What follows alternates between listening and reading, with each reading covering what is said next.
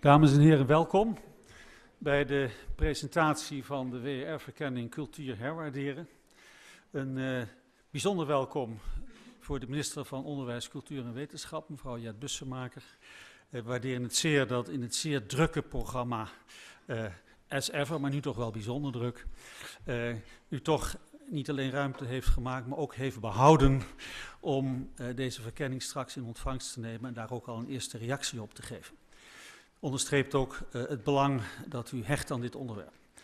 Uh, een onderwerp dat eigenlijk zo oud is als de mens, cultuur en kunst waren er altijd. Tegelijkertijd is er eigenlijk ook geen onderwerp te noemen dat zo dynamisch is en zo in ontwikkeling als juist kunst en cultuur, of het nou gaat in de om de ontwikkeling in de sector zelf, de invloeden van de samenleving op de sector of om de wijze waarop de sector in die samenleving staat, met alle variëteit die daaraan verbonden is. Daarover gaat de verkenning. De verkenning gaat ook over de eventuele beleidsimplicaties daarvan. Um, en uh, wij zullen de verkenning nu straks uh, gepresenteerd krijgen. Dat zal gebeuren door Erik Schrijver. Erik Schrijvers, de redacteur, samen met mederedacteuren eh, Annegreet Keizer en Godfried Engbersen. Um, er zal daarna uh, de overhandiging plaatsvinden aan de minister. Minister zal dan uh, reageren en vervolgens uh, zal er een debat plaatsvinden onder leiding van Ruben Maas. Ruben Maas zal zelf de leden van het panel introduceren. Ik zeg al vooraf even dat de minister niet de hele bijeenkomst kan blijven. Het is een zeer druk programma, maar zo lang als zij kan. Uh, het woord is aan Erik Schrijvers.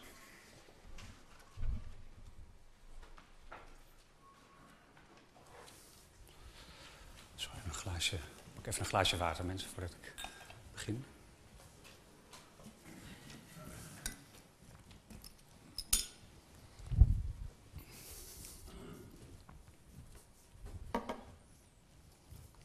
Goedemorgen iedereen, excellentie, dames en heren.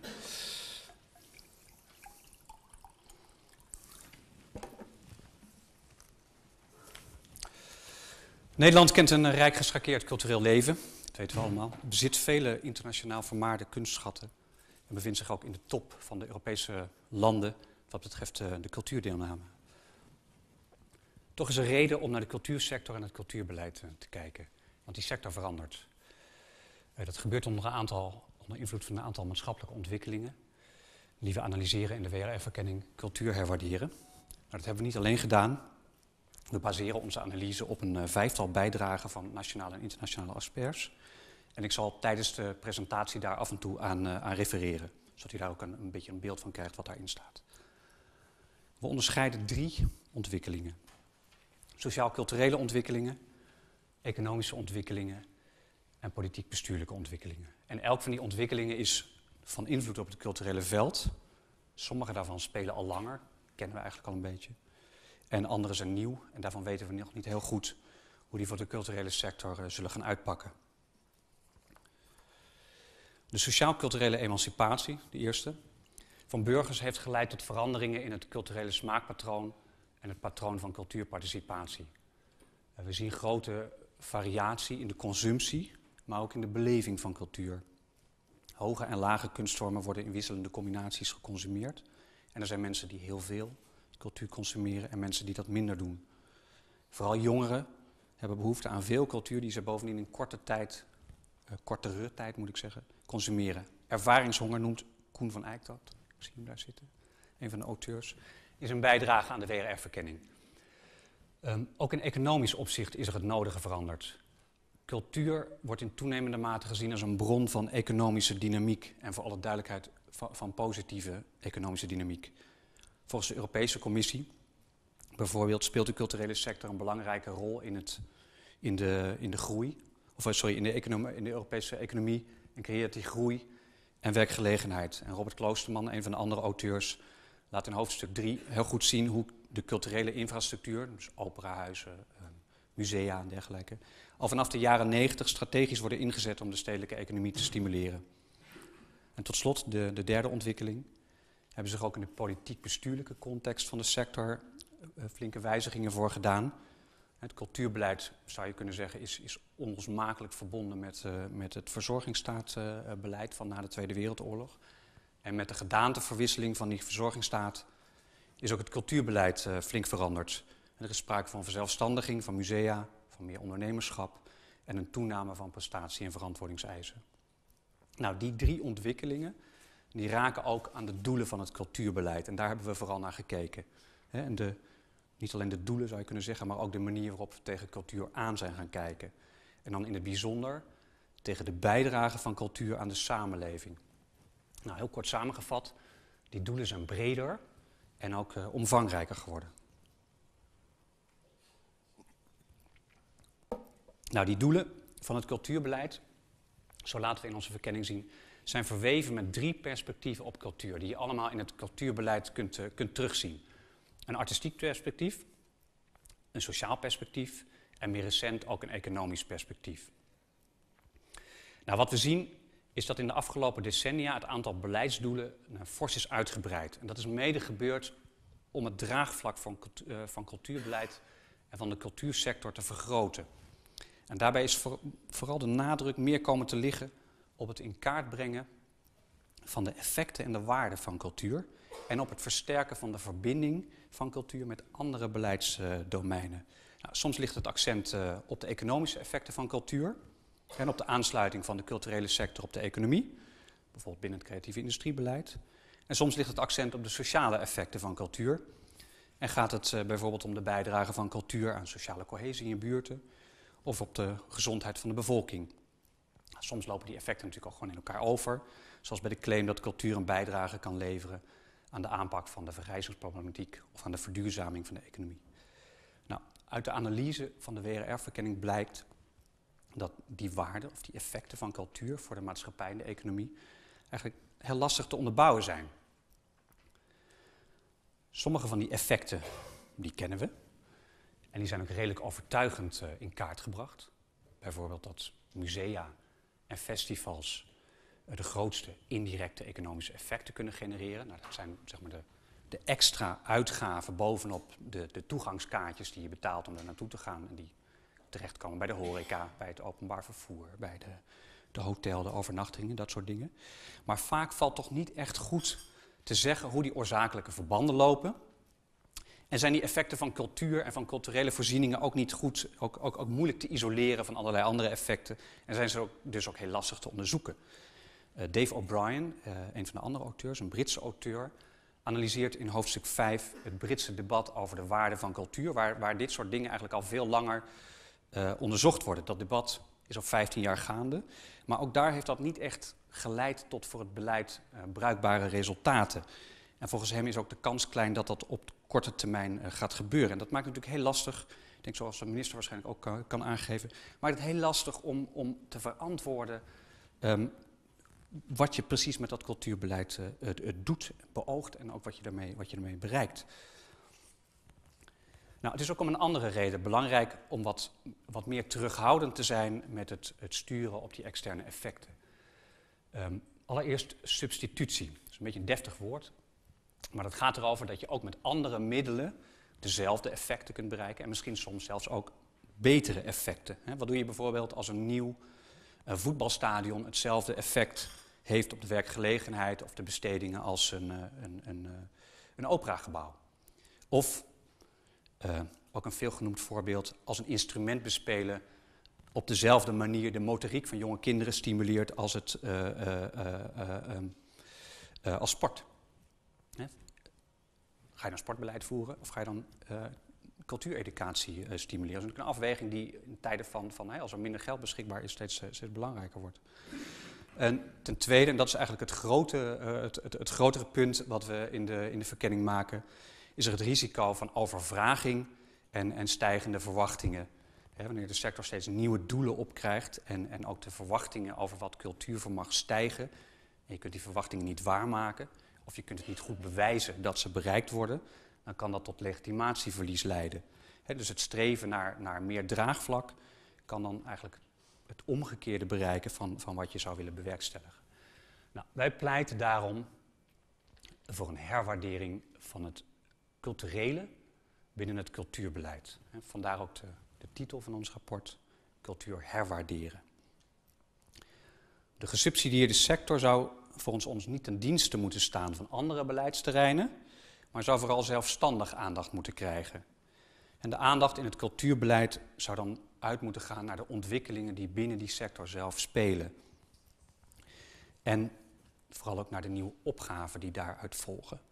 De culturele sector is volgens ons pas echt van waarde voor de Nederlandse samenleving wanneer die met die ontwikkelingen en die opgaven kan, uh, goed kan omgaan. Nou, we doen in de, in de verkenning een aantal suggesties die de culturele sector vooruit zouden kunnen helpen. En hoe de overheid daar met haar cultuurbeleid aan zou kunnen bijdragen.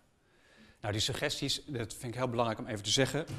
Die suggesties sluiten in belangrijke mate aan bij wat er binnen de culturele sector al gebeurt. En deels ook wat er binnen het overheidsbeleid gaande is. Dus wij zeggen niet dat je het ene moet inruilen voor het andere. Het gaat meer om, om, balans, om een wat andere balans. Nou, die suggesties zijn, ik lees ze even heel kort, uh, kort op. Opleiding en arbeidsmarkt beter verbinden. Het gaat over de hele breedte, dus van mbo-opleidingen, hbo-opleidingen, soms ook deels uh, universitair. Experimenteren met publieksbeoordeling in aanvulling op het systeem van expertbeoordeling, wat we allemaal kennen. Planning van onderop, daarmee bedoelen we dat je um, niet alleen van bovenaf met subsidie zeg maar, stuurt wat het aanbod is, maar ook kijkt naar wat er van onderop tot stand komt en dat probeert uh, te faciliteren. Professionalisering van het publieksonderzoek, daar ga ik zo wat dieper op in.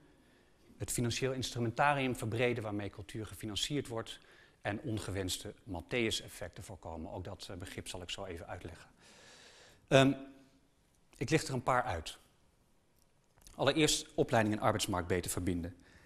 Um, de afgelopen jaren is de aandacht toegenomen voor de bijdrage van de creatieve sector aan economische ontwikkeling. Ik noemde dat al eerder.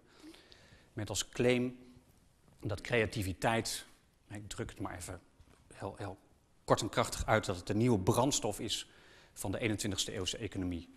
Nou, als je dan wat preciezer kijkt, dan zie je toch dat verhoudingsgewijs een, een vrij klein aantal afgestudeerden uh, werk vindt dat aansluit op de opleiding die ze hebben gevolgd.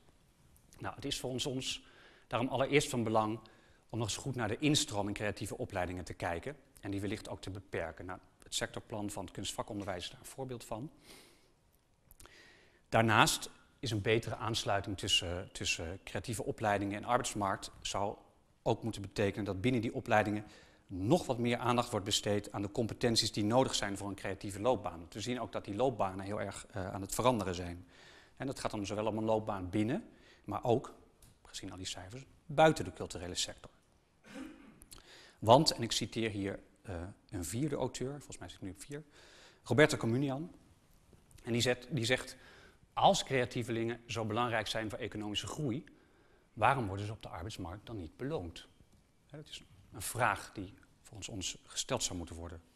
En wat een reden is om naar die aansluiting te kijken. Dus het zit voor een deel in het onderwijs, maar het zit zeker ook een deel aan de kant van de arbeidsmarkt.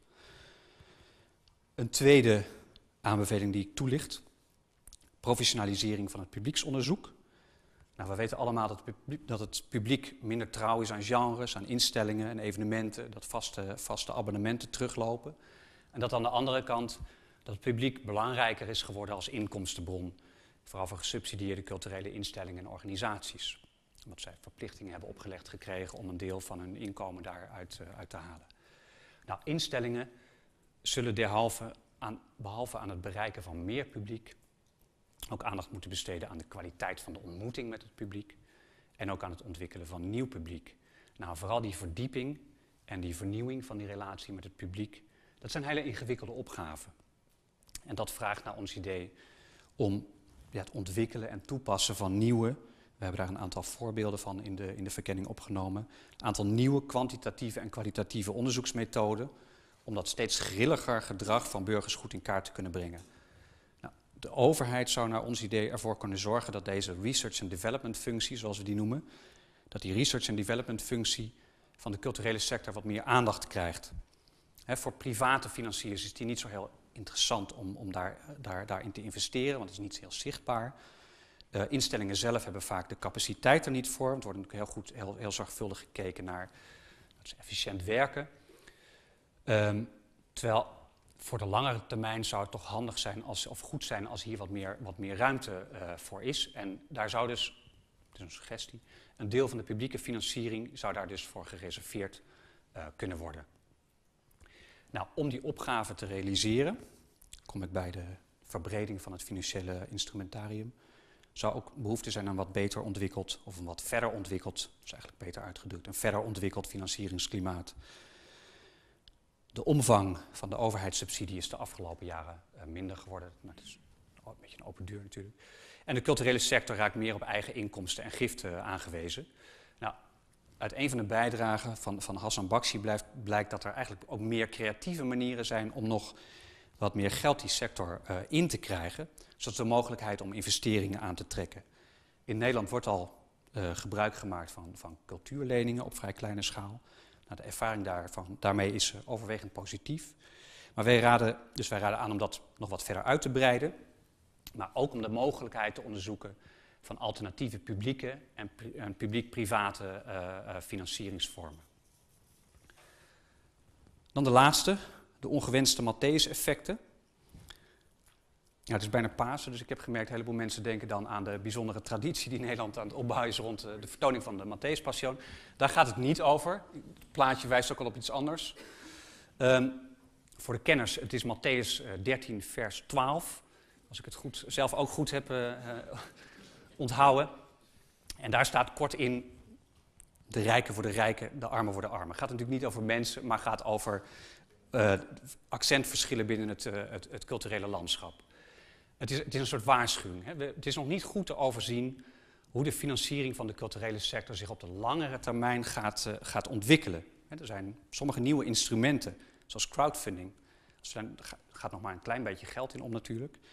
Maar we zien dat die vooral in het voordeel werken van, van kunstenaars en instellingen met een goed netwerk, met erin uh, kapitaalkrachtige mensen. En ze blijken ook niet heel goed uh, geschikt te zijn om projecten te financieren met een wat onzekere afloop. Hè, artistieke experimenten. Mensen willen toch gewoon een beetje zien wat, wat, je, wat je, die willen er iets voor terug hebben. Um, dus het werkt heel goed voor sommige dingen, andere, voor andere dingen weer wat minder. Nou, wat bovendien aan het licht komt, is dat niet elke instelling, elke culturele instelling in een even goede positie verkeert om, uh, om meer eigen inkomsten te verwerven. Onder meer vanwege locatieverschillen, het type collectie wat je hebt, um, de stad waar je in ligt, de bereikbaarheid, nou, noem maar op. Een deel van de culturele sector zal zijn succes dus kunnen reproduceren en vergroten, terwijl andere instellingen minder of misschien onvoldoende in staat zullen zijn om in vernieuwing te investeren. Nou, dit Matthäus-effect, dus dat, er, dat die verschillen groter gaan worden, hangt dus samen met de manier waarop de financiering van de culturele sector is ingericht. De overheid kan natuurlijk private geldstromen wel, wel mogelijk maken, maar niet sturen zoals dat met subsidie gebeurt. En dat betekent dat die verschillen ook minder uh, uh, uh, te beheersen zijn. Um, wij vinden het daarom raadzaam om die werking van die nieuwe financieringsinstrumenten en het verdienvermogen van gesubsidieerde culturele instellingen een beetje in de gaten te houden, te evalueren. Nou, dat kan helpen om vroegtijdig zicht te krijgen op financiële problemen en beleid te ontwikkelen voor een eerlijke toegang tot financiering. De verantwoordelijkheid van de overheid voor de, uh, voor de financiering van de culturele sector zou gezien dit soort ontwikkelingen op termijn namelijk wel eens een hele andere invulling kunnen krijgen. Ik rond af. Uh, al deze voorstellen zijn erop gericht om de kwaliteit, diversiteit en rijkwijde van het culturele aanbod in Nederland te waarborgen. En dan vooral op de langere termijn.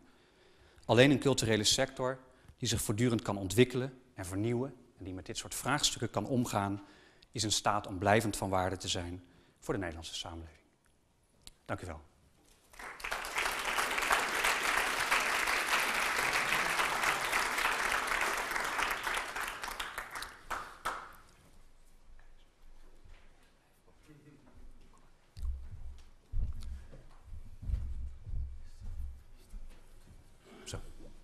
Alsjeblieft. Dit is een heel mooi dun boekje. Wij zijn er klaar mee, ja. Ja. En Dank. Ja, nog een keer?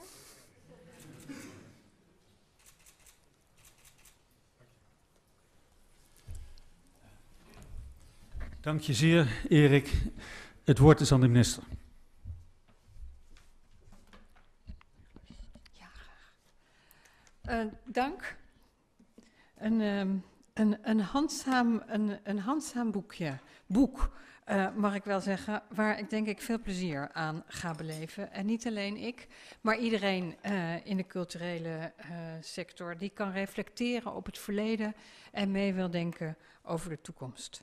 Dames en heren, een mooi citaat van Tony Jude, die in dit rapport wordt geciteerd, luidt als volgt. En ik heb het vrij vertaald.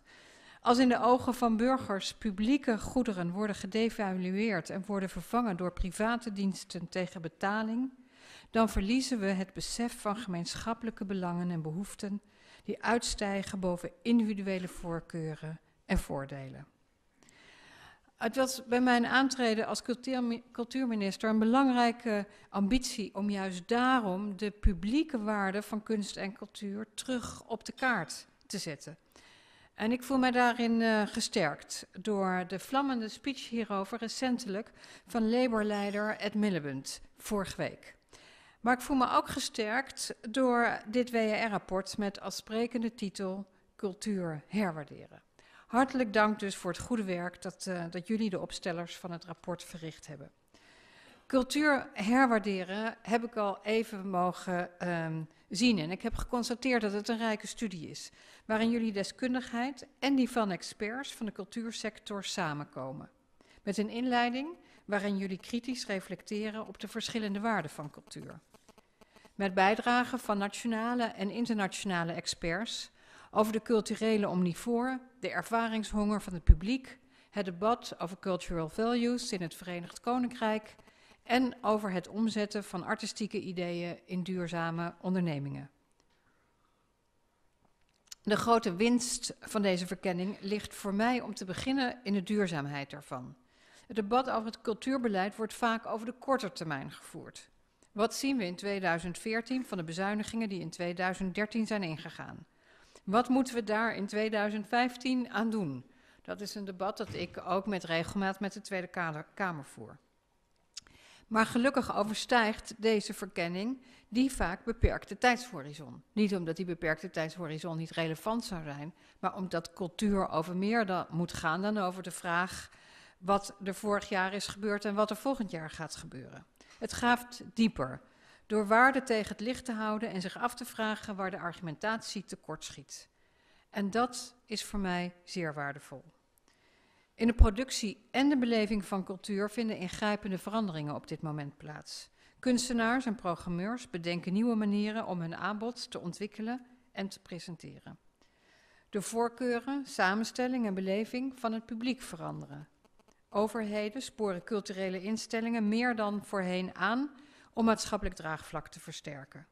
Er is dus recht en reden voor een fundamentele analyse van de toekomst van het cultuurbeleid in Nederland.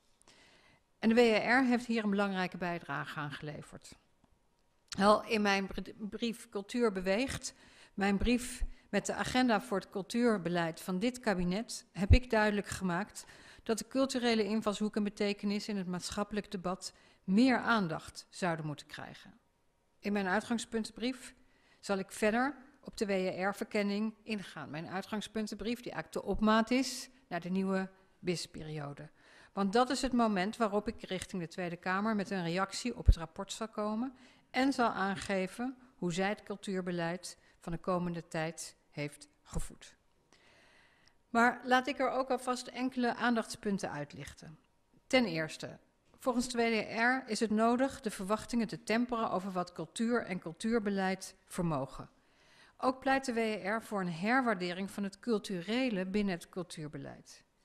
Beleid waarbij de inhoudelijke ontwikkelingen binnen de cultuursector het zwaartepunt vormen. En in die aanbeveling kan ik mij goed vinden. Want ook voor mij is de eigen waarde van cultuur het vertrekpunt. Gerrit Komrij zei het al in de jaren tachtig. Kunstenaars zijn geen zwanen, geen ezels die pakjes dragen.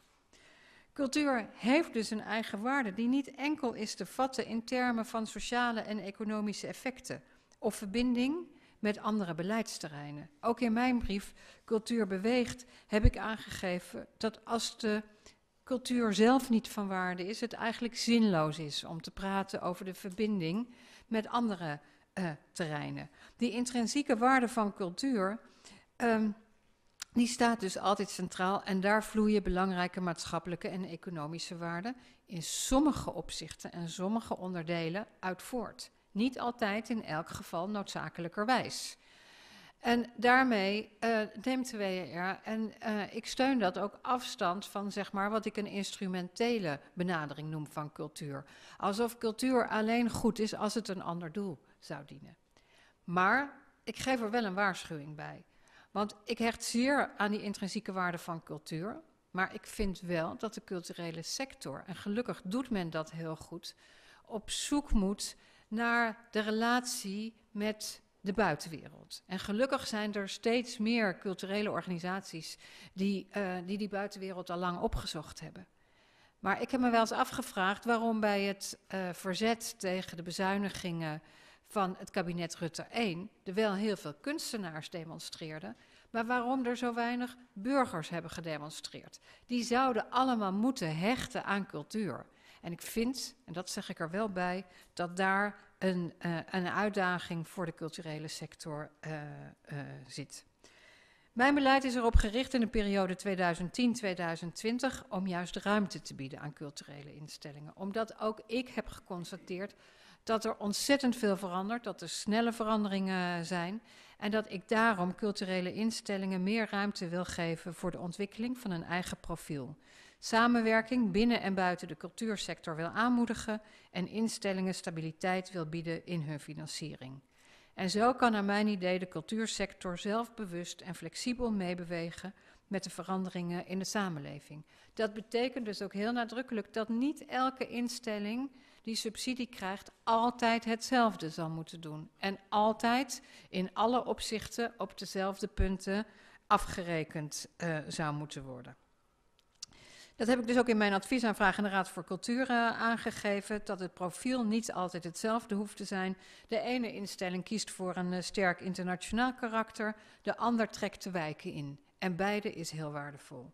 Wij moeten daar wel met elkaar over nadenken hoe dat totaal een evenwichtige uh, vormgeving heeft. Want als alle culturele instellingen nu gaan zeggen dat ze internationaal gaan, dan hebben we wel een probleem. En als politici uh, moeten we dus ook culturele instellingen niet dwingen om allemaal door datzelfde hoepeltje te springen. Maar we moeten recht doen aan die diversiteit van de cultuursector. De diversiteit van de sector is naar mijn idee herkracht. Er is nog een ander aspect waarop ik graag uh, uh, waarop ik terug zal komen, ook later. En uh, dat is het blijven investeren in onderzoek om meer inzicht te krijgen in de wisselwerking tussen kunstenaars, cultuur en samenleving. Want ik geloof in die grote maatschappelijke betekenis van cultuur. Maar er is nog veel werk te verzetten in de ontwikkeling van methodes en de verbinding van cultuur en onderzoek. En dan zie ik beelden vormen, zoals de oude vrouw die door muziektherapie weer contact maakt met haar omgeving, die door muziek, klank en ritme haar gevoelens uit. Het kind dat misschien wat angstig is of verlegen in de klas, maar op een podium danst en zingt en zo zichzelf ontwikkelt. Of een schilderij van Rembrandt ziet en zo het spel van donker en licht begrijpt en geschiedenis niet ziet als iets doors of saais, maar als een levend verleden ziet. Of de esthetische ervaring en verbondenheid die mensen ervaren met hun stad als ze een monument zien.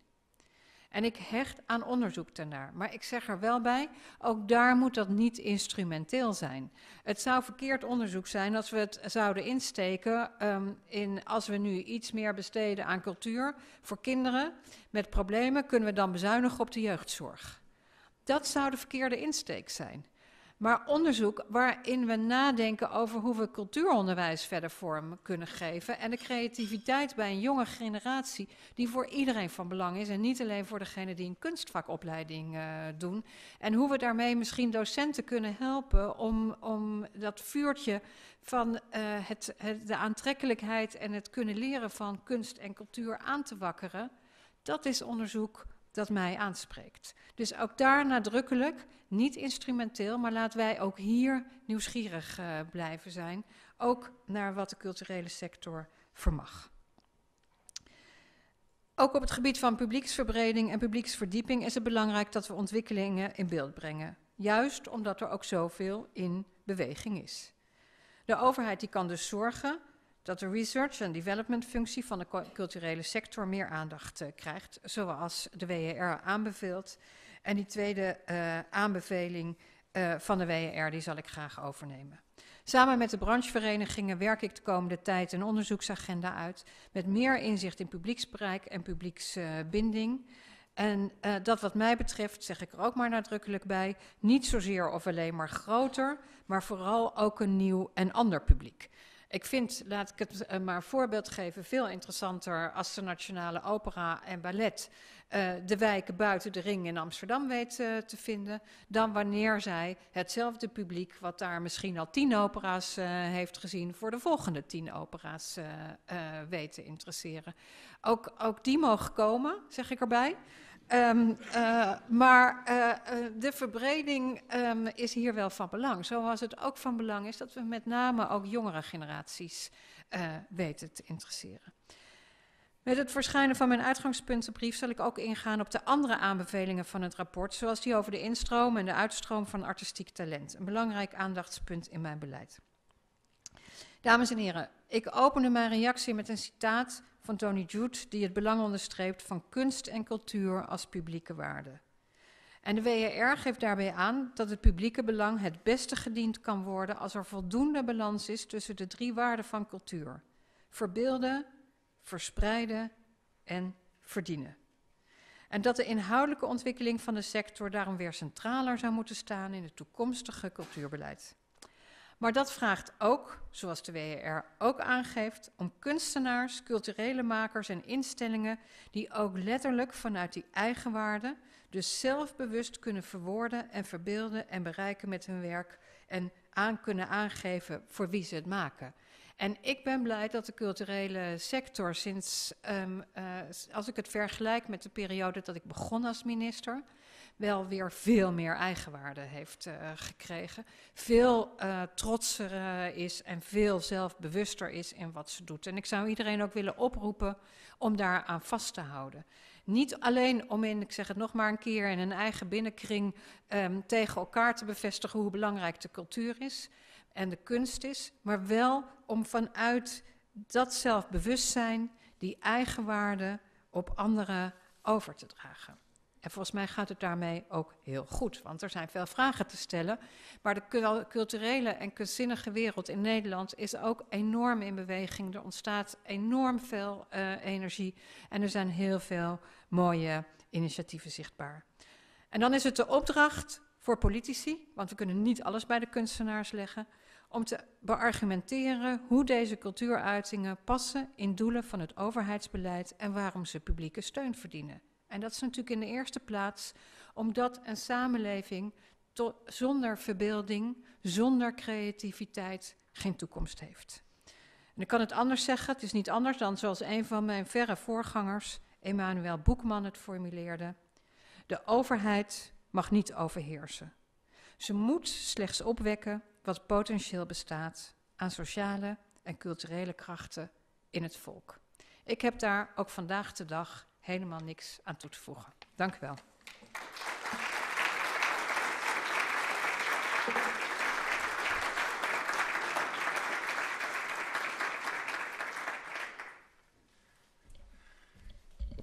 Dank u wel, mevrouw de minister, voor direct al zeer inhoudsvolle reactie.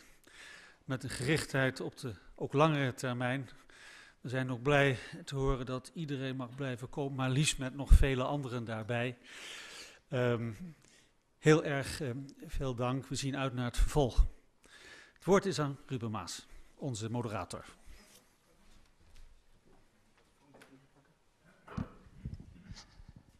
Oké, goede. Ja, nog net Nee, middag, dames en heren. Van harte welkom. Um, tot de klok van één uur gaan we met elkaar in gesprek. En u kunt uh, het bijna voorstellen als misschien al een soort eerste leeswijzer op weg naar dit, uh, dit rapport. We hebben een aantal mensen gevraagd om een, om een reactie te geven. Misschien zelfs al wat adviezen mee te geven. U heeft net ook gehoord, het zijn adviezen zowel voor de sector zelf als voor de politiek als voor beleidsmakers. En ik kijk even of u moet er nu vandoor hè? Ja, heel, veel, heel fijn dat u er was. Ja, dank u wel. Dames en heren, minister Bussemaker, dank u wel. Dank. Um, Maar er zitten genoeg mensen in de zaal voor wie eigenlijk dit rapport misschien wel gewoon op hun nachtkastje moet komen te liggen. En om dat te bepalen hebben we dus een aantal mensen gevraagd om een eerste reactie te geven. Ze hebben al iets kunnen lezen van dat rapport. Uh, het is een gesprek dat we hier vooraan aan tafel voeren, maar als u het op een gegeven moment echt niet meer houdt, uh, voel u vrij om op een gegeven moment te zeggen, ja maar hey, hoe zit dit dan precies? Of hier ben ik ook benieuwd naar, of hoe gaat dat dan precies? Wat daarbij overigens helpt is als u uw telefoon uitzet, want ik hoorde hier en daar nog een telefoon gaan, dus mocht u hem nog aan hebben staan, is dat heel fijn. Um, vijf mensen hebben we uh, zometeen hiervoor, maar ik heb het opgesplitst, want we beginnen eerst even met twee mensen te praten, meer in, even meer in algemene zin. Van wat, wat is nou de waarde van zo'n rapport, wat kan je eruit halen? Dames en heren, mag ik een heel groot applaus voor Barbara Visser en Joop Daalmeijer.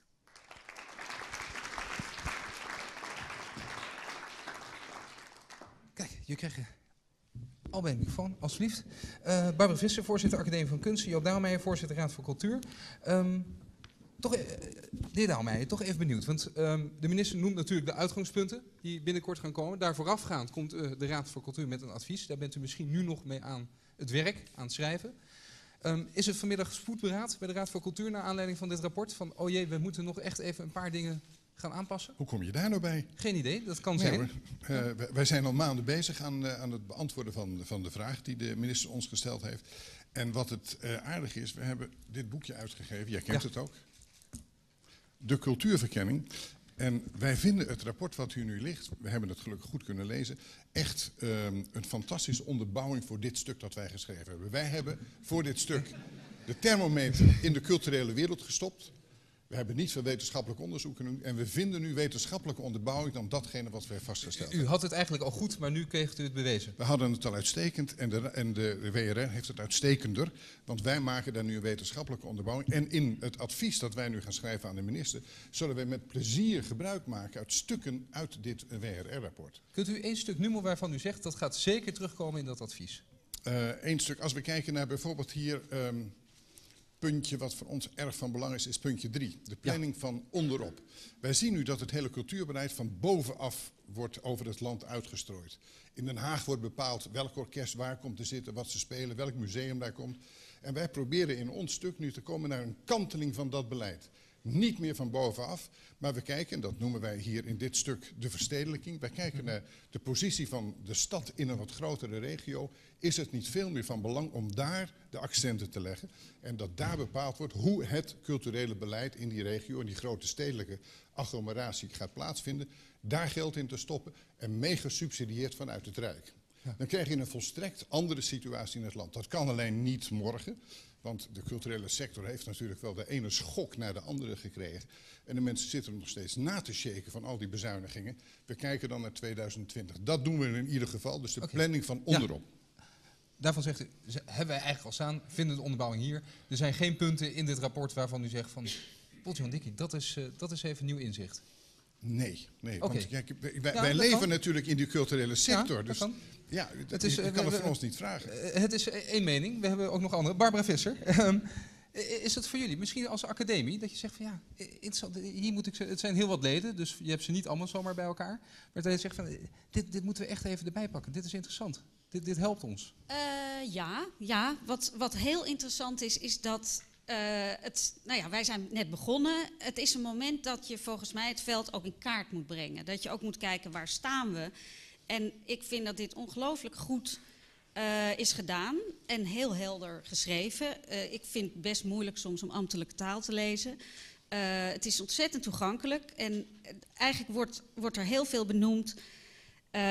waarvan je kan zeggen, nou ja, daar moeten we allemaal mee aan de slag. -hmm. Ik heb alleen één, en dat is het minder goede nieuws, één ontzettend groot punt van kritiek. Oh. En dat is, en dat heb ik al eerder aangekaart, dat kunst en cultuur constant van. Uh, die begrippen lopen door elkaar in dit rapport.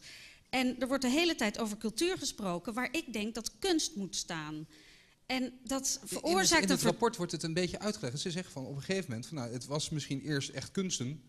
Maar door de verbreding en ook wat ook in de presentatie werd aangegeven, eh, is dat ja, kunst en cultuur gewoon dichter bij elkaar komen te liggen. Dat is ook zo, maar in het gesprek daarover vertroebelt het enorm als je dat door elkaar haalt. Omdat je zoveel verschillende segmenten hebt die zoveel verschillende doelen dienen, dat als je dat op één hoop gooit, dat het gesprek heel diffuus wordt. En dat vind ik heel ingewikkeld aan. Dus ik heb geprobeerd om waar hier cultuur staat kunst te lezen. En ging Bre- dat een breed kunstbegrip. En dat ging redelijk. Ehm, en nou ja, wat ik, eh, ja, wat ik heel goed vind is, want het, het- we hebben het hier natuurlijk over het belang van dat rapport, ehm, is dat er echt wordt benoemd dat er, vind ik, dat lees ik erin, dat er een vertrouwenskwestie speelt. Dat het vertrouwen moet worden teruggebracht tussen de sector en de politiek en de sector en de maatschappij. Ja. En ehm, ja, wij denken dat dat eh, van beide kanten moet komen. En er wordt nu vaak gezegd van nou, de kunstenaar moet meer met de maatschappij. En, maar om een draagvlak te hebben in die maatschappij, moet je volgens mij veel fundamenteler insteken. En ik ben heel blij dat de minister eh, onderwijs als een heel belangrijk instrument ziet daarin. We, we gaan straks specifiek even over dat onderwijs praten en ook natuurlijk het, het aanbod wat daarover werd gezegd. Toch even die, die, die maatschappelijke worteling. Want de minister reageerde natuurlijk ook heel erg nadrukkelijk op. Ze heeft eerder ook Ja. gesproken over die, die koppeling aan maatschappelijke domeinen. En ehm, ik, ik had het idee, maar dat is lastig want ze, eh, om dat natuurlijk nu zo voor te leggen, maar dat, dat er eh, iets in beweging terug is. Ja, ja, toch weer terug iets meer naar die intrinsieke waarde. Want het leek op een gegeven moment wel heel even, in alle discussies, alsof die maatschappelijke verbindenis belangrijker leek te zijn dan die, die intrinsieke waarde. Hoe ziet u dat? Nee, dat is juist. Wij, wij Ja. spreken ook in ons nieuwe stuk eh, daar Ja. heel nadrukkelijk over. Aan de andere kant zegt de minister wel een heel waar ding in haar verhaal. Dus het gaat om de bezuinigingen, die 200 miljoen hier uit het eh, Binnenhof over het land is uitgewaaid. Wie kwamen pleiten voor de kunst en cultuur? Dat waren de makers, dat waren Ja. de orkesten. En zij de mensen die daarvan genieten, die daar iets van opsteken, waar waren die in die periode? Stonden die hier massaal op het Binnenhof? Nee. En die hadden er natuurlijk moeten zijn. Gisteren spraken wij met, met de, de Nederlandse vakbonden over de toekomst van, het, eh, van de culturele sector.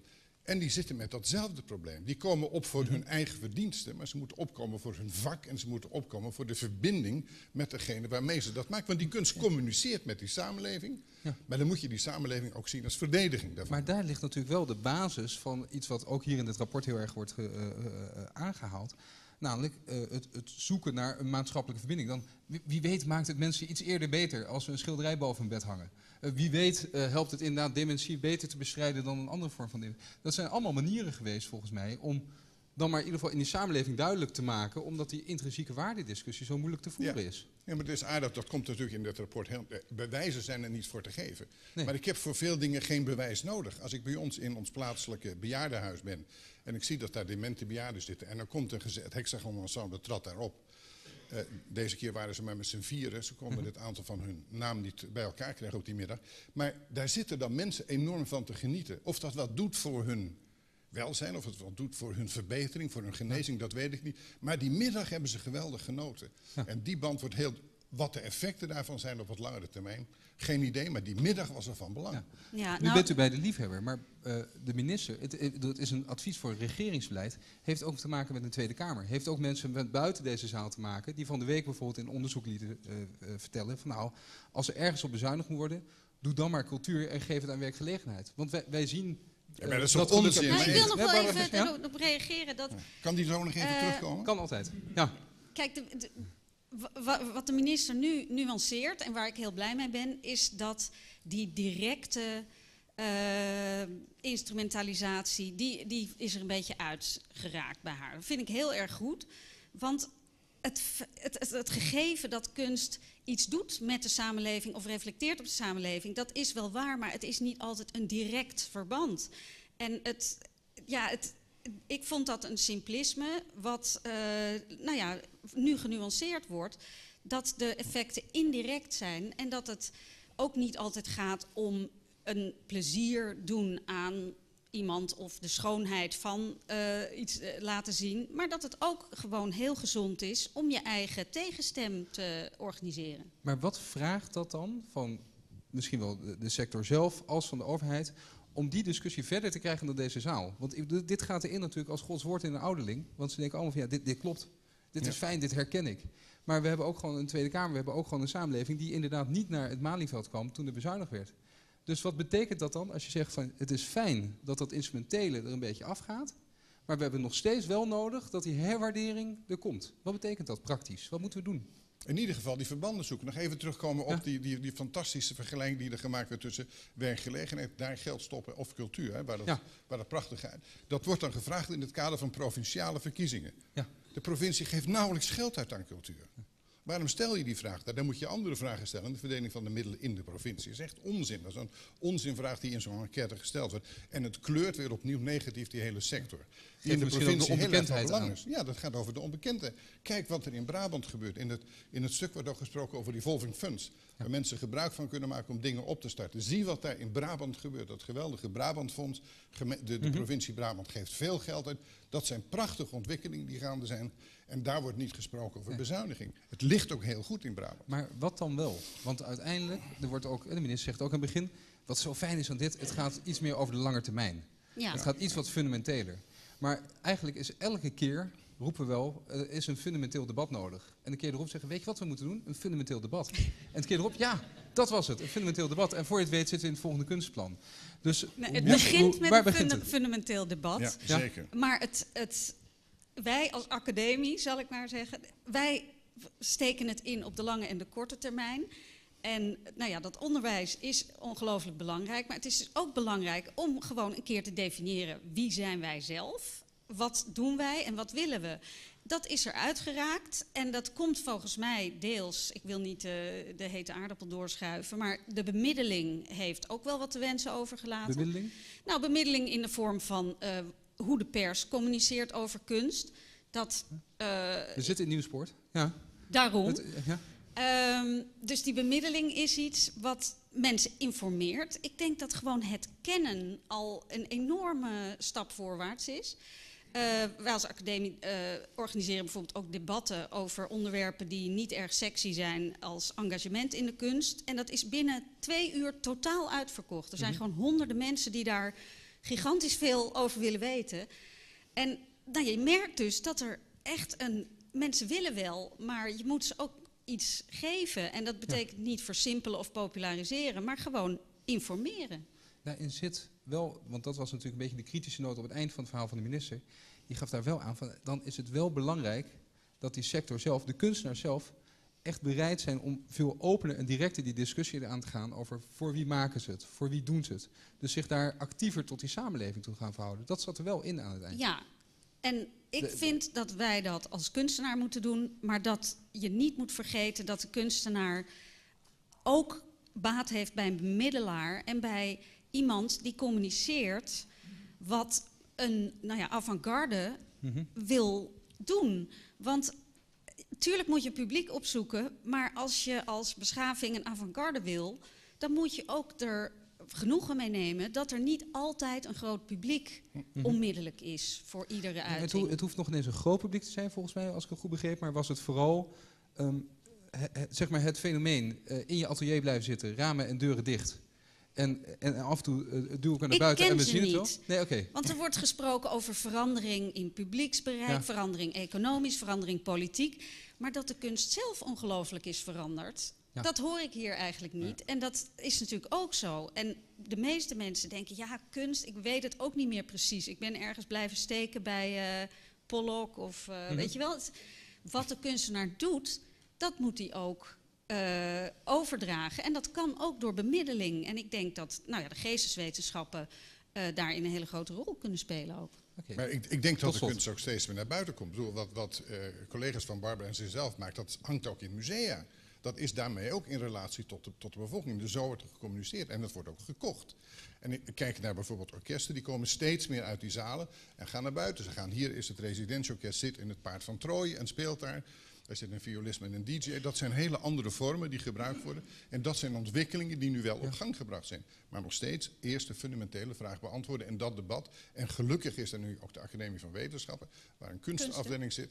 Maar je valt Ja. binnen de academie, hè? Daar komen je samen uit. Ja? Daar ko- daar komen we altijd samen Ja, uit. Maar goed Wacht dat dat er is. ja. Ehm, tot slot, want je merkt ook nu in dit gesprek en, en dat, en dat als er dan zoiets wordt geschreven, dat er echt zegt, heel erg belangrijk, maar we waren er eigenlijk al een beetje mee bezig. Op een of andere manier is dat altijd bij elk rapport altijd zo. Dat iedereen er eigenlijk net al mee bezig was. Nou, dan, dan Ja, gaat dit in ieder geval mee op de trend die er is. Maar zijn er ook nog dingen, ben ik toch eh, gewoon als leeswijzer in de zaal, mensen die straks dat meekrijgen. Dan denk ik van nou, u bent er misschien wel mee bezig, maar toch voor de zekerheid, denk daar nog eens iets langer over na. Want dat is eigenlijk, u bent er misschien wel mee bezig, maar we moeten er misschien meer mee bezig zijn als je dit rapport leest. Wat voor punt zou dat zijn bij u? Uh, ik denk dat dat in ieder geval ook uh, punt 4 is. Heel erg van belang. Ja. Professionaliseren van publieksonderzoek. Hoe ja. krijg je dat mee? Nu is die hele kunstensector, als het gaat om de subsidiëring, wordt gedaan via peer review. Nou, uh, misschien wordt het hoog tijd om dat ook eens erbij te kijken. Hoe kijkt het publiek aan naar wat er aangeboden wordt? En hoe kan je dat meenemen in de beoordeling van subsidieaanvragen? Dat wordt in dat rapport heel nadrukkelijk gesteld. En wij zullen dat ook met plezier overnemen. Barbara Visser, tot slot. Uh, nou ja, ik, ik denk dat het belangrijk is dat mensen echt zich realiseren dat het over een bewustzijn gaat. En dat het geen schande is om gewoon te erkennen dat de geestelijke infrastructuur ook onderhouden moet worden. Mm -hmm. En dat dat geen luxe is, maar dat dat echt onderdeel is van onze cultuur. Dank u wel, dames en heren. Barbara Visser, Joop Daalmeijer. Dank u wel. Dank.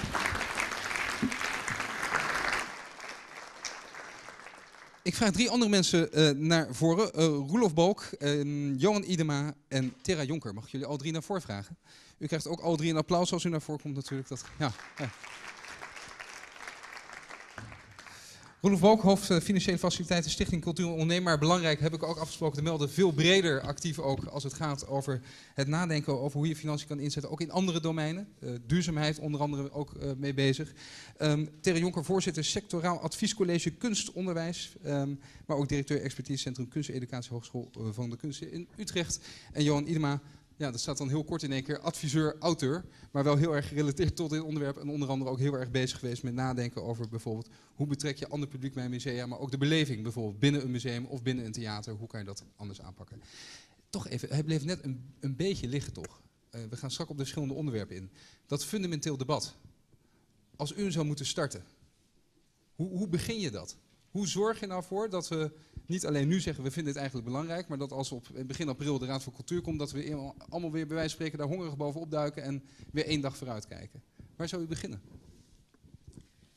Eerst erkennen uh, dat de partijen die deelnemen aan het debat niet zomaar direct meer aan te wezen zijn in deze tijd. Er zijn een aantal sectorinstituten en grote organisaties zijn er niet meer. Het culturele veld is nu versnipperd. Dus dat, vanuit het onderwijs gezien kun je dan zeggen, nou met wie gaan we dan in gesprek? Dus uh, een fundamenteel debat moet altijd een heel breed debat zijn, met ja. veel vertegenwoordigers. En dan niet alleen uit kunst en cultuur, maar ook breder. Dus ja. in die velden waar kunst en cultuur ook een plek vindt tegenwoordig. Oké, okay, dus een, een, het betrekt in ieder geval dus heel veel verschillende... Ook staat hier trouwens ook hè, die verbinding bijvoorbeeld creatieve industrie als... Ja. Je moet er veel meer bij gaan halen. Het bredere begrip. Ja. Roelof, in, in jouw geval, wat zou je doen? Nee, ik ben niet zo van de fundamentele debatten. Okay, ik ben niet voor de financiering, ja. dus... Ja, precies, ja. nou ja, zou je op, op zich... Maar komen anders bij een, een fundamenteel financieel debat? Komen we dan later. Johan Idema. Um, ik zou elk fundamenteel debat beginnen met uh, het fundamentele probleem of de fundamentele uitdaging die er ligt. En dat is, en dat sluit heel erg aan op wat hier, uh, waar het over gaat, dat ligt bij de impact van kunstcultuur. En mm -hmm. uh, we noemen dat intrinsiek, en dat is altijd een lastige term. Er zijn ook onderzoekers, en er wordt ook in het stuk genoemd, die, die, dat intrinsieke moeten we maar even vergeten. Ja. Het gaat over wat kan als ik voor een schilderij sta of in het theater zit, wat krijg ik dan mee als bezoeker? En dat kan vermaak zijn, troost, inspiratie, uh, ideeën, inzichten. Ja. En het fundamentele probleem, als we hem echt even als probleem neerleggen om dat debat te beginnen, is dat uh, die impact van cultuur die we denken dat het heeft, dat dat veel minder is dan, uh, dan we denken. Dus dat, ja, dat we denken van nou, het, het, het, brengt iedereen in verroering, maar als we kijken naar de onderzoeken, er zijn ook onderzoeken die hier worden genoemd, er zijn ook een aantal onderzoeken die niet worden genoemd, maar die dat heel erg onderbouwen, is dat de impact van cultuur helaas veel minder is dan we willen geloven, dan de sector wil geloven. En uh, ik denk dat we daar moeten beginnen. Dat is een, een buitengewoon onprettig begin van een fundamenteel debat. Zo moet je elk want, debat beginnen. Ja, precies. Want de, namelijk de hoop van elk fundamenteel debat is natuurlijk dat je daarna de buitenwereld nog beter kan overtuigen waarom je uh, fundamenteel moet bestaan. Nou, het leuke is in, in een aantal van de, op, uh, van de onderzoeken ligt de oplossing. Hè? Dus okay. daar wordt geconstateerd van die impact is minder dan, dan we willen. Maar uh, het goede nieuws is dat die impact vergroten, dat het eigenlijk niet eens zo moeilijk is. Daar voorafgaand gaat nog de vraag, we moeten eerst die impact goed kunnen meten. Ja. En dat is het, uh, een probleem wat we eigenlijk de laatste tien jaar hebben gehad. We zijn weggebleven van dit intrinsieke impact, omdat het zo'n ingewikkeld ja. uh, begrip is. We gingen naar sociaal, economisch. Ja, precies. We zijn gevlucht naar de economische impact. Uh, uit die onderzoeken blijkt ook dat intrinsieke impact goed meten, dat hoeft niet heel moeilijk te zijn. Daar kunnen we een, ik noem het maar even, een eenvoudig modelletje van maken. Ik zie nu iemand met allemaal plakkertjes op zijn hoofd voor een ja, schilderij. Zo, zo wetenschappelijk zou ik... Nee, zo technologisch zou ik het niet willen benaderen. Maar je kan het toch, de ervaring, hè, wat levert kunstcultuur op, dat kan je toch in een aantal eenvoudige uh, ja, criteria, als je het zo wil noemen, ja. vangen. Uh, dus het is eenvoudiger meetbaar dan we denken. En het goede nieuws is wat mij betreft, het is ook eenvoudiger te vergroten, te versterken die impact. En dat, dat, is een, dat zou de mooie uitkomst van het debat dan kunnen zijn. Theo, even to, uh, tot slot even voor, de, voor dit blokje. Maar um, er zijn natuurlijk ook mensen die zeggen, ja, dat, dat linksom of rechtsom, je gaat het altijd verliezen. Want je, je hebt het over een beleving, een individuele beleving zouden we niet voor elkaar moeten gaan krijgen dat zoals het vroeger was, zoals het heet, um, dat we het er gewoon eigenlijk niet over hebben. We waarderen het gewoon, we waarderen het als samenleving. De, de politiek-culturele elite hier aan de andere kant moet zich gewoon weer eens een keer beseffen. Van kunst en cultuur blijf je af. En die fundamentele discussies die, die zijn leuk voor het laat op de avond. Maar kunst en cultuur koester je. Klaar, punt. Ja, ik ga toch wel een beetje met Johan mee. Okay. Um, ik denk het hele doelgroep denken, dat is een beetje uit. Mm -hmm. uh, de mensen die nu naar een museum gaan of naar een uh, concert, die hebben als kind uit tien soorten thee kunnen kiezen. Hè? Dus ze zijn individueel bediend ja. geweest. En um, dus, dus, als wij kunst gaan maken en in het onderwijs kunstenaars opleiden, dan moeten we ze eigenlijk iets meegeven wat in de game-industrie heel normaal is. Dat je niet denkt in termen van een grote groep, maar dat je denkt vanuit het individu. Uh, en vanuit de interactie, hoe kun je die persoon op dat moment op de beste manier weten te bereiken? En daar is ja. nog veel te halen. Daar wordt in het kunstonderwijs ook onderzoek naar gedaan. Uh, er is een lectoraat uh, bij Hans Hogeschool New Audiences. En meer lectoraten in het kunst-HBO zijn zich echt aan het verdiepen in die nieuwe publieken. Maar die publieken zijn geen doelgroepen meer. Oké, okay. punt. Um, Roelof ook, het Matthäus-effect, was je bekend? Ja, het, deze, het is een goede. Als er een stelling is, ongewenste effecten vermijden, dan moet je opletten, want natuurlijk wil je iets ongewenst vermijden. En ik denk dat, uh, als we het hebben over financiering, is wel interessant. Het Matthäus-effect is, uh, is iets wat je vooral moet uitnutten. Ik denk dat het heel belangrijk is dat het goede zich sterker kan maken. En dat je op zoek gaat naar verbindingen die, die zorgen dat het sterker sterker wordt. Dus dat aspect uh, is juist heel belangrijk. En als je het hebt over waardering, dan is het, gaat het ook om waarde die mensen eraan hechten. Dat is ook eigenlijk de kern van, uh, van economie en de kern van financiering. Dat je de toegevoegde ja. waarde weet te vinden. En dat je de, de waardering daarvan ook weet te verzilveren en door bepaalde combinaties uh, financierbaar maakt. Maar het lastige daarvan was natuurlijk, dat, dat, dat zat in de, ook in de presentatie, dat op het moment dat je gaat zoeken naar wat doe je privaat financieren, wat natuurlijk in opkomst is, was, um, ten opzichte van het publiek. Dan zeg je ja, het gevolg daarvan wel is dat er een soort bias komt in je financiering. Ja. Ja, dat, uh, het Rijksmuseum dus, wordt steeds rijker en het museum achter in Drenthe wordt steeds armer.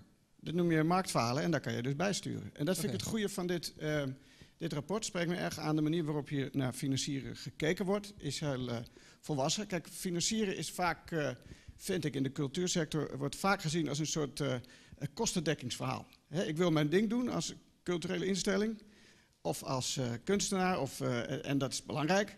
En dat kost geld. Waar haal ik mijn geld vandaan? Ja. Dus, dat is maar, maar zo'n stukje van, een, van de financieringsvraag. En eigenlijk de minst uh, belangrijke, de minst interessante.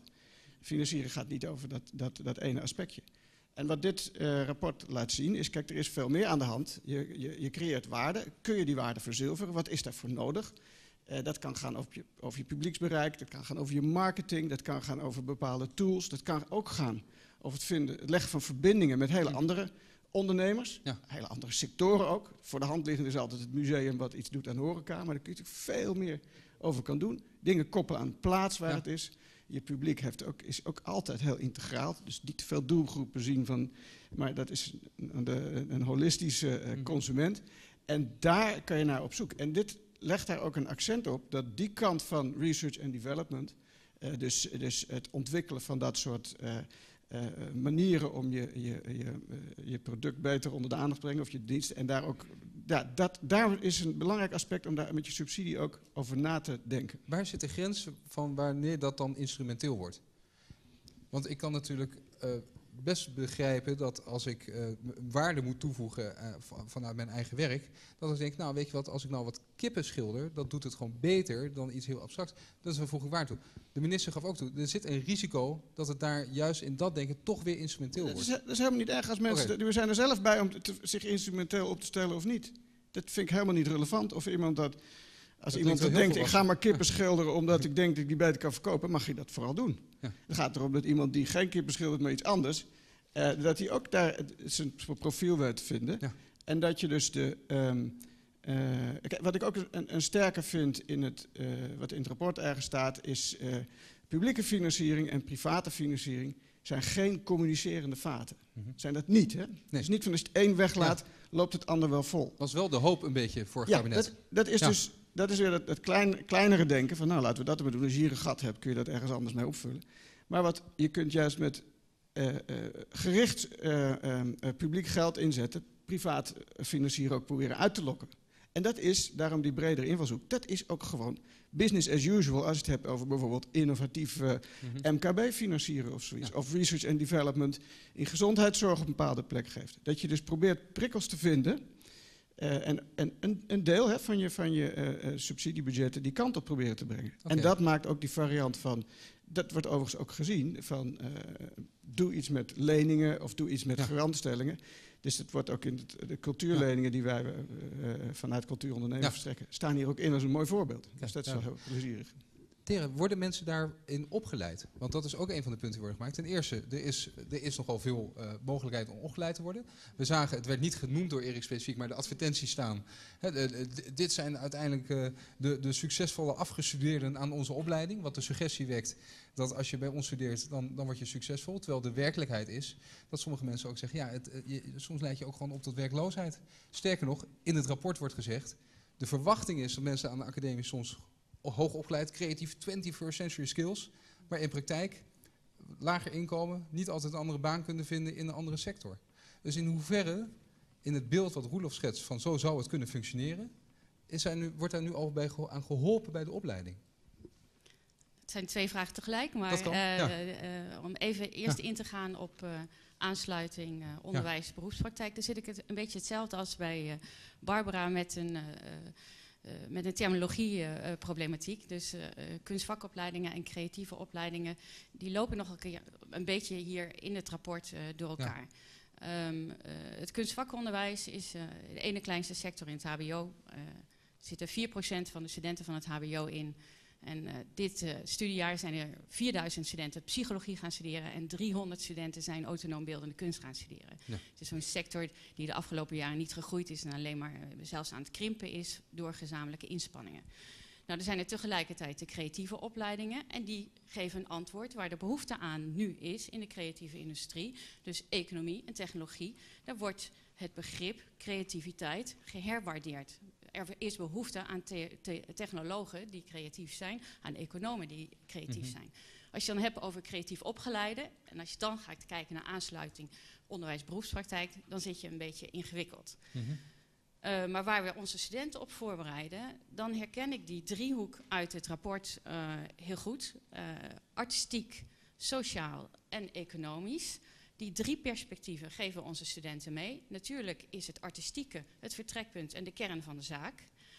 Maar wat je ziet in deze tijd is dat studenten veel sneller eh, leren en kunnen schakelen tussen dat artistieke, sociale en het economische. Dus het is niet zozeer, dit doe ik voor mezelf, dit is intrinsiek, dit is voor mijn eigen artistieke verdieping. En nu ga ik eh, ook aan iets betekenisvol voor de samenleving Ja. doen. En nu ga ik ook daarnaast nog kijken wat ik eraan kan verdienen. Eh, jonge, eh, creatieve professionals van nu, die gaan daar heel snel in. Dat ligt Ja. dichter bij elkaar. Maar dan toch even dat punt wat in het rapport wordt gemaakt. eh, Zegt van ja, maar als ze dan niet hun werk kunnen vinden in de sector waarvoor ze zijn opgeleid, Mhm. lijkt het wel alsof ze te weinig aanpassingsvermogen hebben. Of misschien ook wel te weinig maatschappelijke erkenning hebben, dat kan ook. Mhm. Waardoor ze op een andere manier een plek vinden in die samenleving. Dat, is, is, leuk, dat is, een, is een, een, lijkt me een punt van zorg voor jullie. Ehm, niet helemaal. Kijk, je hebt beroepsopleidingen en je hebt het WO en je hebt het kunstonderwijs. Kunstonderwijs, eh, ik, ik, ik neem aan dat de mensen hier in de zaal, ook sommige mensen, een kunstvakopleiding eh, hebben gevolgd. Uh, ik denk dat niemand zich druk maakt als een psycholoog niet direct psycholoog wordt, maar wel als een verpleegkundige niet verpleegkundige wordt. Kunstenaars die zijn voor zeker 65% ook in het kunstendomein werkzaam. Maar daarnaast hebben zij algemene competenties die ook in andere domeinen worden gevraagd. Als Barbara lesgeeft in het HBO, ja. dan werkt zij op dat moment even niet in het kunstendomein. Dan werkt zij in het onderwijs. Dus dan wordt er gesproken, oh, de aansluiting is niet goed. Maar we zijn juist heel blij dat Barbara ook in het onderwijs werkzaam is. Dan moet ik toch even preciezer zijn op dit ene punt. Want dat vond dus opvallend erin stond. Dat als, sorry, ik neem toch even Barbara dat als Barbara dat gaat doen, dat ze dan uh, in vergelijking tot anderen een lagere functie krijgt, minder inkomen krijgt, omdat dus blijkbaar de opleiding die ze daarvoor heeft gehad, ja, of niet aansluit of niet wordt gewaardeerd. Daar dus is een dus punt, weinig, ja. de salarissen van uh, mensen in het kunstonderwijs uh, opgeleid, die blijven wat achter. En daar heb je zeggen. een punt. Barbara gaat bij ASML werken, want ze zijn ja. heel erg benieuwd naar een beeldend kunstenaar bij ASML. Ja dat blijkt dus niet zo te zijn. Ze blijken niet geïnteresseerd zijn in de creatieve vermogens van een kunstenaar. We hebben andere uh, cijfers daarover, okay. dat juist uh, afgestudeerden uit het kunstonderwijs in andere sectoren, hè, voertuig van kunst en creativiteit in andere sectoren, in de zorg, in de, in de politiek, ja. we, we, zien mensen daar terecht. Maar het is waar dat het salaris wat achterblijft. En ik denk op dat punt heb je een punt. Uh, we moeten leren om geld te vragen. Klopt. Ja. Nog even in dit kader, dat Matthäus-effect. Kijk, het moet, het moet, denk ik, hoeft het niet zo te zijn dat elke kunstenaar uh, even gesterkt ondernemer ook is of zo. Dat hoeft helemaal niet. Het punt is dat je de, de faciliteiten. Er zijn ook uh, clubs die in, uh, in de plaats kunnen zijn. Je hebt broedplaatsen bijvoorbeeld, die kun je op een bepaalde manier ontwikkelen. Je hebt fora, die kunnen, die kunnen een positie bieden aan verschillende kunstenaars. Die voor mij wordt zo autonoom en wereldvreemd zijn als het maar kan. Dat doet er niet toe. Mm -hmm. Als je maar probeert die plekken waar dat wel kan, op een bepaalde manier te stimuleren. En ook de krachten te bundelen, ook financieel, om dat tot, tot een ontwikkeling te krijgen. En dan krijg je dus ook over die vraag, wat is zeg maar infrastructuur en wat zijn de gebruikers daarvan? En daar moet je, overigens is dat ook in dit rapport, komt juist ook die nuance naar voren. Met bijvoorbeeld dat als je dan ertoe komt dat je programma's wil bevorderen met uh, subsidiëring, dat je dan bijvoorbeeld ook als overheid zegt, ja, als er iets leuks uitkomt, dan, willen we dat ook, dan moet het ook openbaar zijn. Dan moet het ook op een bepaalde manier toegankelijk gemaakt worden. Dus je zet dan eigenlijk bij de manier waarop je dat soort dingen financieel ondersteunt, ook je bepaalde voorwaarden die vanuit dat publieke belang uh, uh, hoog op de agenda staan. Dat is dan de punt ervan. En dat hoeft dus niet dat iedereen allemaal die, die datzelfde, uh, een soort uniformiteit nee. krijgt. Nee. Als het maar op sectorniveau belegd is. Ja. Johan Idema. Het punt over het experimenteren met publieksbeoordeling. Het zit een beetje zelfs misschien tegen dat punt trouwens van planning van onderop. Het heeft ermee te maken dat je dus gaat kijken van wie, bereiken we eigenlijk? En kunnen we ze op een of manier meenemen ook in het beoordelen? En misschien sluit het zelfs al een beetje aan bij de discussie over kunst, cultuur. Ik weet niet of heel veel mensen die uh, uh, buiten deze zaal rondlopen zich heel erg bewust zijn van het verschil. Dat, dat haal je ook mee binnen bij publieksbeoordeling. Laat ik even beginnen nog. Ik wil nog even een compliment maken over het stuk. Ik vind dat het nog te weinig is gedaan. Okay. Uh, 9 plus wat mij betreft. Dit is echt een. Het is zelden dat er, eh, wat mij betreft, zo'n stuk als dit langskomt. één keer in de tien jaar. Wat, en ik zei niet om promotie te maken hoor. Maar dit is echt uh, zeer goed onderbouwd. Er is waanzinnig veel onderzoek hiervoor uh, geïnventariseerd. Er wordt even de vergelijking gemaakt met de cultuurverkenning.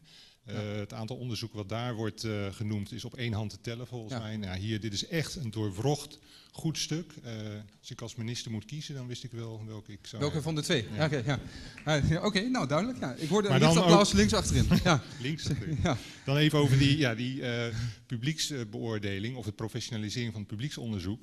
Ik denk dat de, de onderzoeken daar goed gelezen zijn, dat inderdaad het punt relevant is. Ik vraag, en natuurlijk is het belangrijk om beter beter onderzoek te doen naar, naar het publiek. Alleen uh, het probleem wat we daarmee willen oplossen is de aansluiting van het aanbod op de vraag. Daar zit een grote kloof en volgens mij uh, moet je daar juist gaan kijken van hoe gaan we dat aanbod veranderen. Dus de presentatievormen. En er wordt uh, gesproken van R&D. Volgens mij moet ja. die R&D heel specifiek gericht zijn op de presentatievormen waarop kunstcultuur worden aangeboden. En ik denk en, dat het in... Wat zeg je dan eigenlijk als je dat zegt? Want dat, dat, wat, wat ga je dan onderzoeken of wat ga je dan anders doen? Uh, je gaat uh, in de, nou, gewoon R&D doen. Dus je gaat uh, onderzoeken en vooral ontwikkelen nieuwe manieren om kunst te presenteren. Ik ben heel veel bezig met de kunstmusea. Daar heb je een dominant format wat ik de White Cube noem. Namelijk de lege zaal, even gechargeerd, mm -hmm. met de tekstbordjes en helemaal alleen zo rustig mogelijk. Ja. Uh, dat blijkt, daar blijkt uh, dat het een, een, een, specifieke groep aanspreekt, een minderheid van het publiek. Als je daar de aansluiting op het publiek wil vinden, moet je dus andere formats vinden of andere manieren dat je die andere publiek ook gaat aanspreken. Weet je de dus, waar, waar Barbara Visser het ook over had? Ja, nou, je, de rol die je als intermediair daar ook in kan nemen. Precies, het museum is een intermediair en die zou bijvoorbeeld kunnen zien van nou, de sociale kwaliteit van de museumruimte. Ja. Dus heel veel mensen komen naar het museum als sociale activiteit.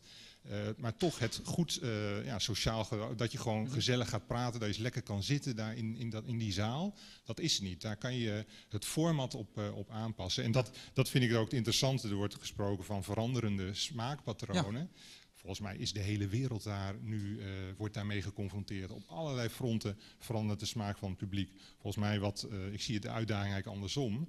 Uh, het zijn de formats die zo uh, vast blijven in de cultuursector. En dat is, de dat is dus eigenlijk het probleem. Daar moeten we aan sleutelen. Toch, Joop Daalmeijer die noemt uh, net van... ja, maar bijvoorbeeld hier Residentieorkest gaat naar buiten...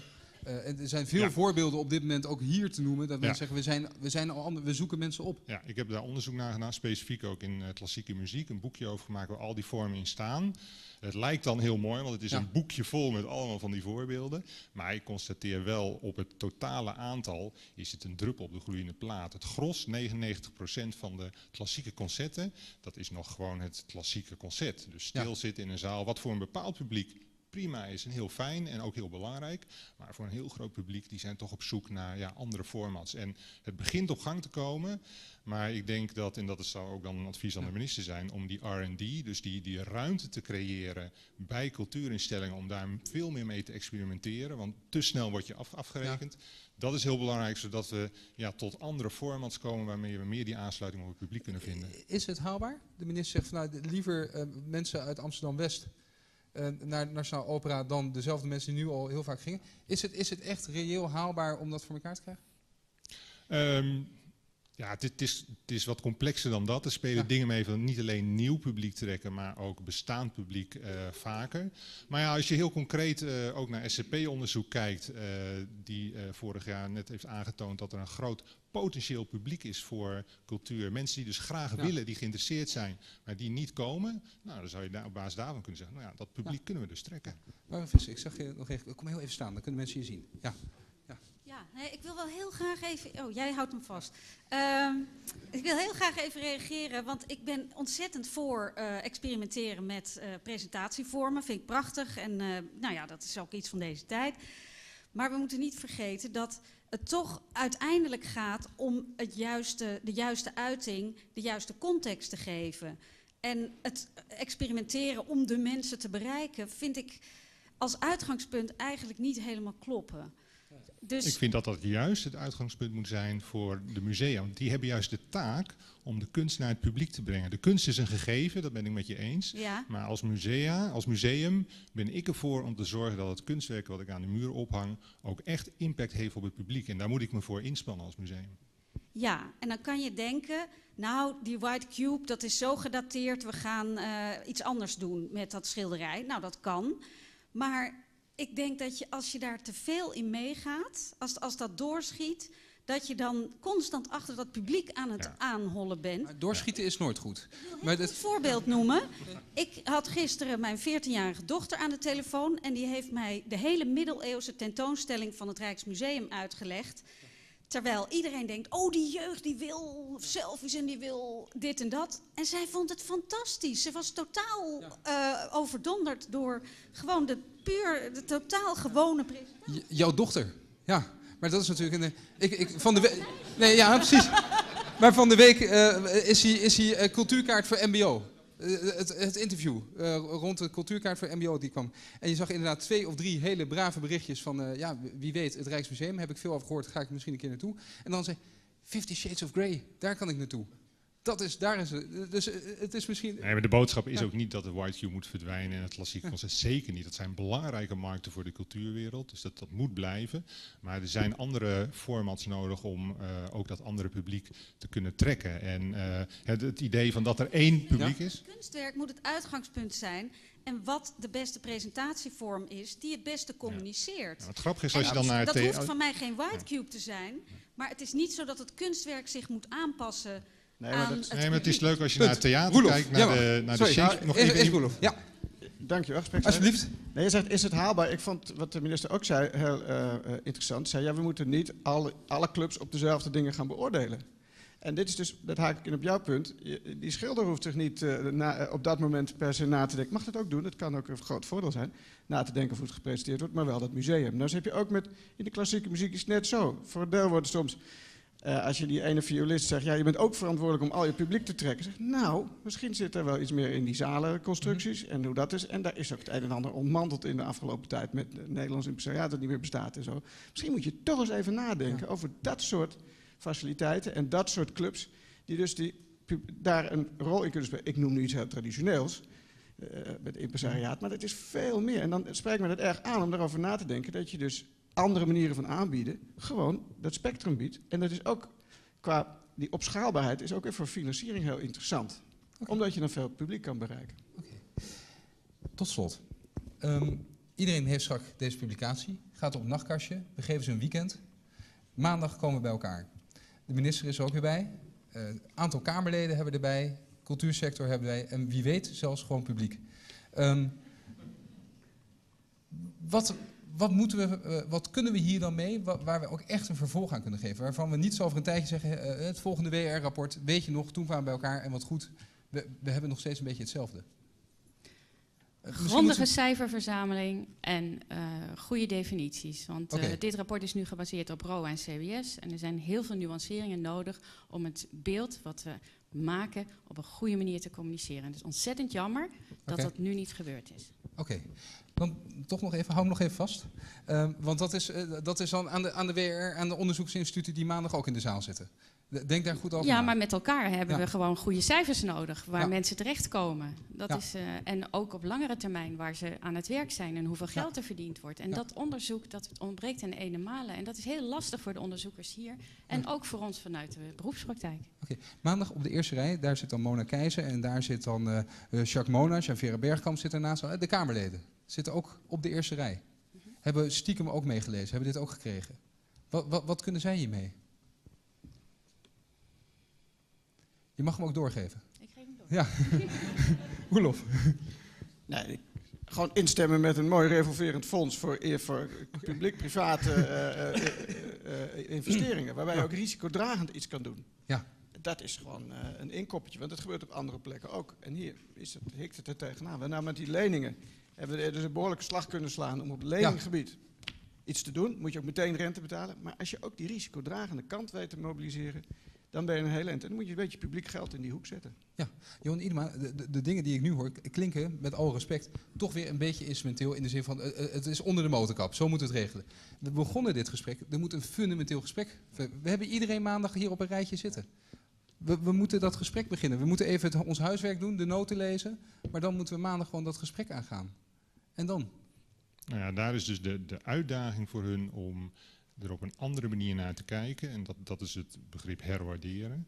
En dat is, eh, we zijn gewend als sector heel erg vanuit het aanbod te kijken. Produceren, maken. Er worden ook prachtige dingen, heel veel prachtige dingen gemaakt. En dit pleit toch om eh, ja, meer vanuit de ogen van het publiek te kijken. Van al die prachtige dingen die gemaakt worden. Eh, raken die ons, komen die aan? En vandaar de, het pleidooi voor de intrinsieke impact, want daar gaat het uiteindelijk over. En uiteindelijk is het ook heel simpel. Hè? Als wij meer en meer mensen gewoon weten te raken met wat dan ook, of het nou Rembrandt is, of, Mhm. eh, dan eh, denk ik dat de rest, hè, de andere uitdagingen die er liggen op het gebied van draagvlakfinanciering, die volgen daaruit. Dus het is eigenlijk dat het instrumentele waar we dan in of waar we vaak in vervallen, daar zit een voorwaarde voor, namelijk eerst zorgen dat die kunst en cultuur je keihard raakt en dan komt de rest vanzelf wel. Joop Dameyer zei natuurlijk heel stoer van, we hebben het allemaal al. Ehm, als je toch denkt van nou, dan, dan verwacht ik in ieder geval dat dat in, eh, Ja. in dat verhaal komt te liggen, eh, wat dus begin april komt. Dat staat er dan in ieder geval in. Als we alles hebben, dan moet dat erin staan. Ja, nou kijk, het Matthäus-effect enorm belangrijk. Ik ben blij dat we het hier een paar keer over hebben gehad. Dat wordt hierin genoemd, zie ik niet in het stuk van de Raad van Cultuur. Terwijl dat heel actueel is. Het Rijksmuseum wordt al genoemd. Ik denk dat we enorm Ja. trots kunnen zijn op het Rijksmuseum. Maar het is ook een groot eh Matthäus-effect wat daar speelt Ja. natuurlijk. En eh, ja, dat, dat is wel nieuws. En eh, daar, ja, daar, daar, zijn we, we moeten gewoon heel erg blij mee zijn dat we dat nu weten. Want dan kunnen we voorkomen dat iedereen zegt van kijk, in het Rijksmuseum kan het. En dan gaan we het in Twente en in Limburg gaan we het ook allemaal doen. Ja, zo werkt het natuurlijk niet. Oké, we gaan begin april checken of het erin staat. Dan gaan we het zien. Dames en heren, mag ik een heel groot applaus. Thea Jonker, Johan Idema en Roelof Hook. Dankjewel. Dank. Dank.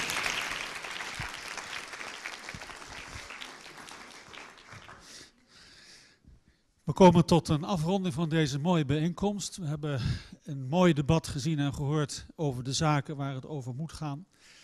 Ehm, geen behoefte aan een samenvatting. Alles en iedereen sprak voor zich. U kunt natuurlijk allemaal eh, nalezen wat in de verkenning staat. Ik denk dat u nu misschien nog meer gemotiveerd bent om dat allemaal te doen eh, dan toen u hier naartoe kwam. U krijgt ook allemaal de verkenning uitgereikt. Ehm, ik denk dat eh, we een hele mooie bijeenkomst hebben gehad. We hebben een gemotiveerde minister gezien. We hebben mooie resonans gezien tussen de WER en de Raad voor Cultuur. Ehm, we hebben een betrokken sector gezien. Eh, we zien natuurlijk ook sterk uit naar de politieke respons. En eh, misschien nog veel belangrijker, de publieksontwikkeling eh, die zo centraal heeft gestaan, ook in dit debat. Eh, rest mij te bedanken nogmaals de redacteuren, Erik Schrijvers, Annegreet Keizer en Godfried Engbersen. Misschien kunnen jullie even gaan staan, want jullie verdienen toch nog wel applaus.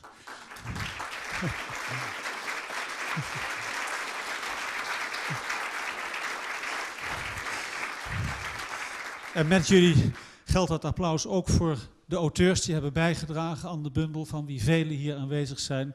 En u zult ze ook allemaal tegenkomen in die bundel.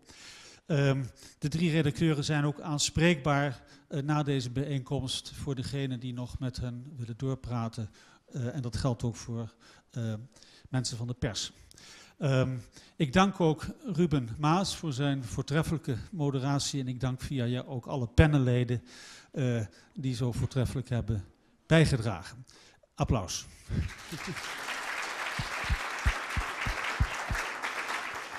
Ten slotte denk ik u, dank u allemaal die hier aanwezig was voor uw betrokkenheid. Eh, en ik nodig u allemaal uit voor een gezamenlijke lunch hiernaast. Dank u wel.